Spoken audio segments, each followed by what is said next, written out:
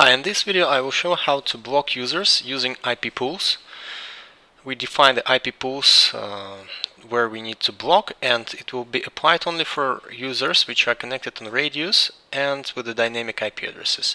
Here we have the IP pools for blocking and let's uh, first change the customer and let's uh, disconnect this customer and then we will change this customer uh, that he will be um, disconnecting it and now I'm going to change him uh, his to dynamic IP addresses.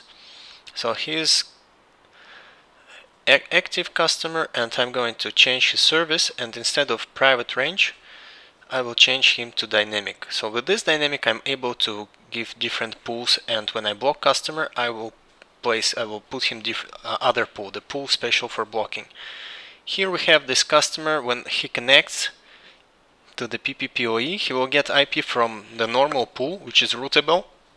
So this is 10, 10, 18, 0 slash 24 and that's my customer. I can see his IP address on online sessions. Yeah he is now and I he can navigate he can use the internet.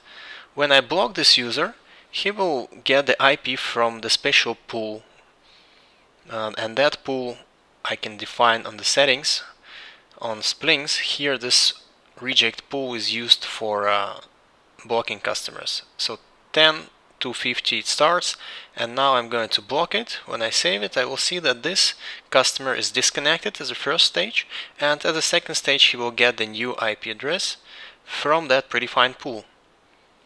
Connect type the password yes and so the customer is authenticated, but he is blocked, so he got IP address 10250 from and 251. This is the IP pool, and now I can apply the rule for redirection, and I can send this customer to the page which will say pay your uh, money to account, and your account will be activated.